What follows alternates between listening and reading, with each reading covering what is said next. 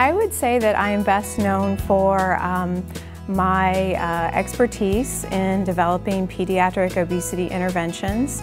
And those interventions really are more family-based, so I, I'm really known for my recognition uh, in the field for taking into consideration that a child doesn't have a lot of control over their daily life.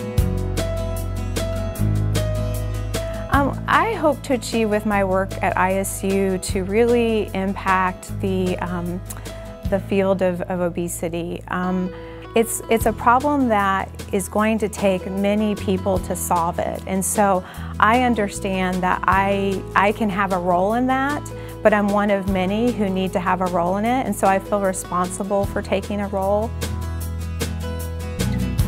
I'm from Florida and I grew up in Orlando and I kind of grew up at Disney World, Walt Disney World. My mom was a nurse there and we could go there all the time as much as we wanted uh, for free.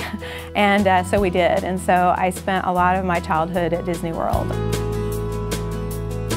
My name is Lorraine Lanningham-Foster and I am a human scientist.